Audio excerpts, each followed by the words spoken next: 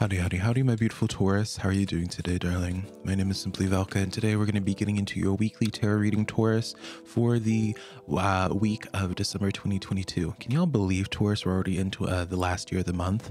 All right. So if you do enjoy this tarot reading today, Taurus, be sure to let me know in the comments below how this resonates with you. That's how I keep up with y'all through the comments, of course. And the best way to support this tarot reading channel, Taurus, is just to give this video a like and subscribe. It's completely free to do, and it does help me out quite a bit when you guys do that. So thank you to those who take that extra step. But um, let's get right into your tarot reading here, uh, Taurus. I'm really excited about what's happening. Be sure to remember if you enjoy this tarot reading, check out your sun, moon, and your rising, Taurus. You know, you want to base your entire life off of your one zodiac zodiac reading. Same thing when it comes to tarot readings on YouTube. Check out your sun, moon, and your rising. So, getting right into this year, Taurus, we have the World Six of Swords with the Eight of Pentacles. That's the eight, right? Yeah, the Eight of Pentacles coming in here for you, Taurus, right? A lot of closures, all right? You're completing a chapter, and it's in this last chapter that you have been in, Taurus. This gives me like a sense of like uh, bittersweet energy, especially when I see the Six of Swords here. It's very uh, bittersweet energy having to close the chapter of a book and start like a new uh, a new storyline. It's time for you to upgrade.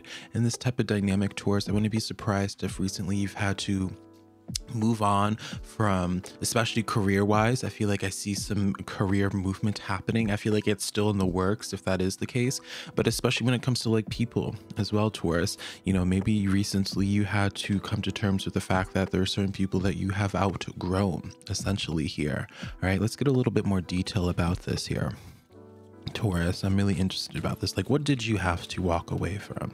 What did you have to, in the name of a clean slate? All right. I feel like it is maybe like an accumulation of a lot of things for you, Taurus, that pushed, that made you go to this decision here. But ultimately, you, you're craving just like new energy. You're craving just like it's like a whole new storyline. It's almost at this point for you, Taurus, where it's like you realize being like, all right, 2022, honey, it wasn't the greatest, all right, and neither was 2021 or maybe even 2020, all right. But you, it's like you have your heart set on 2023, Taurus, to be your greatest yet.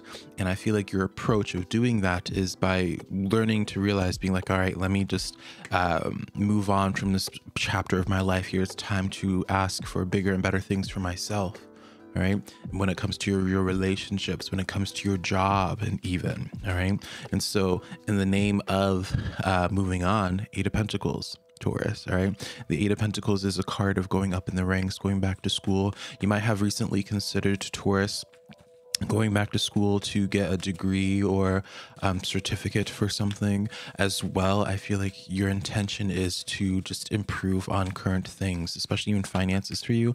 I wouldn't be surprised if financially things are going to start picking up for you. Yeah wheel of fortune coming in right afterwards. This is it's just your story's just about to be getting really really good taurus. Can i just let you know that?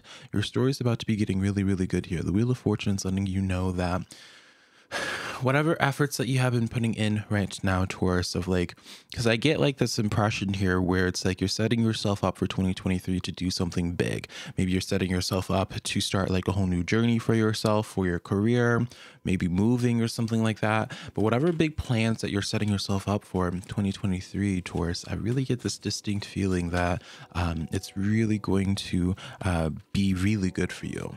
All right. Four of Pentacles. Why is this Four of Pentacles here?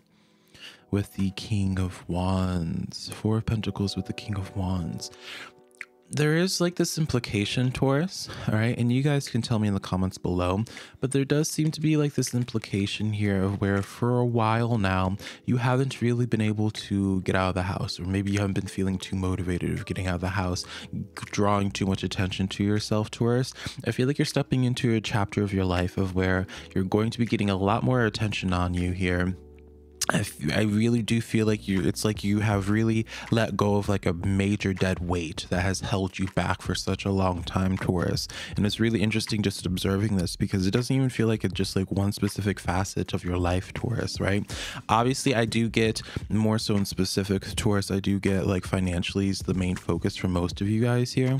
But in this dynamic here i really get like just clean slate in general social circles who you're talking to um everything Taurus truly like there's a lot of changes that i feel like you're setting yourself up for um, in 2023 and i feel i like the direction of it.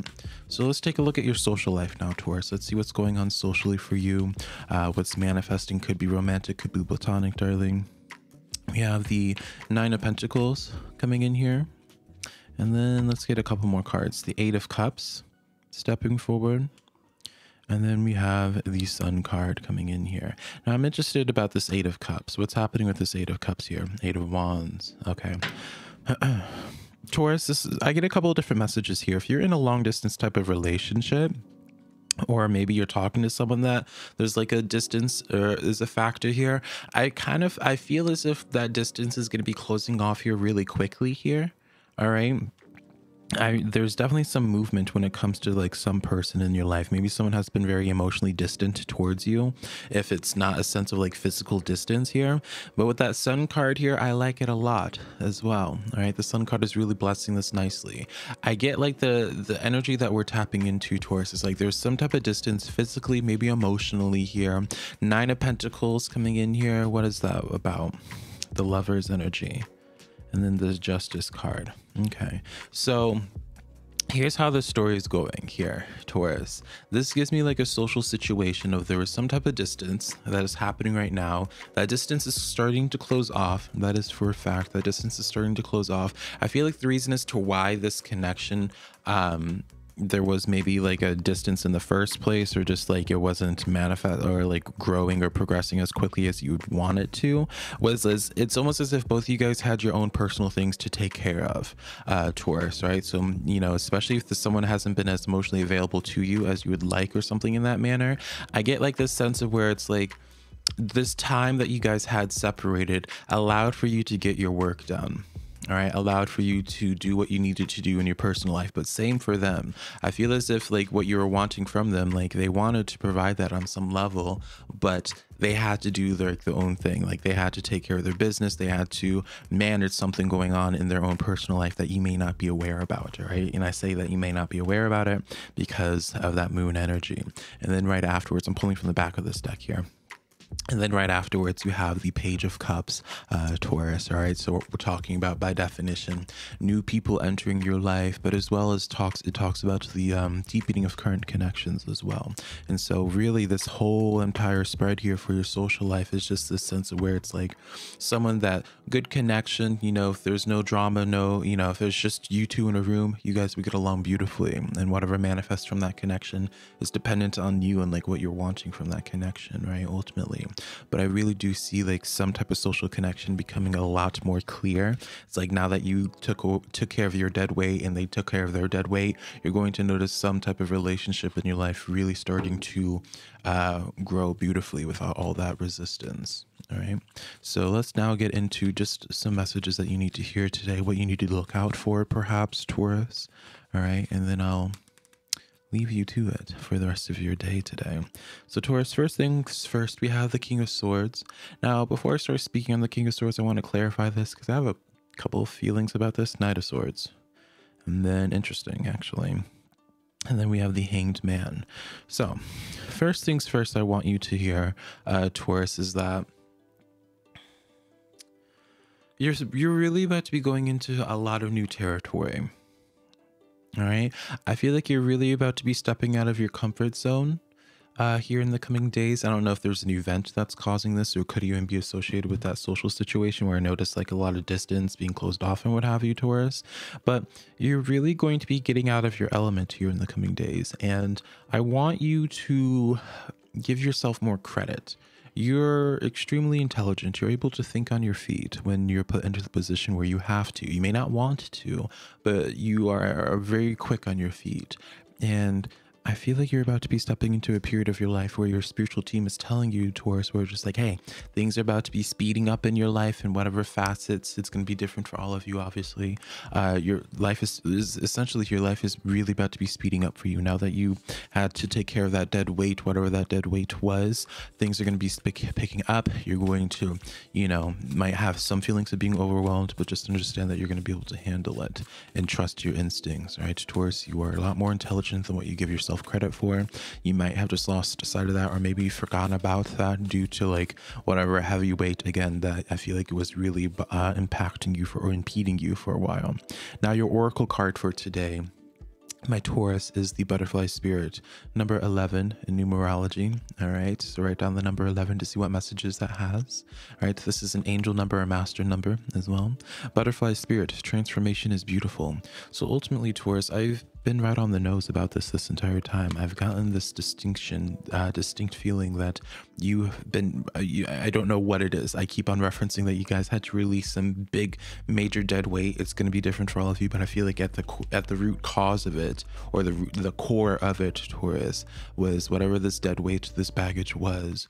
It was really stopping you from finishing your cocooning process. I feel like there's a certain point in time in your life, Taurus, where you're really working on yourself making leaps and bounds towards your goals and overcoming any obstacles and what have you. And then something ha- happened that you've been needing to na- manage for a long time that made it really hard for your own personal growth you may have been able to help everyone else thrive and live their life, but I feel like for you, um, it's been suffering a little bit, lacking a little bit because no one's been making sure that Taurus is being taken care of. And I feel like now you're having to take matters into your own hands, ultimately, Taurus, and be like, all right, I gotta make be, I got to uh, help out this cocooning process, this transformation process sooner.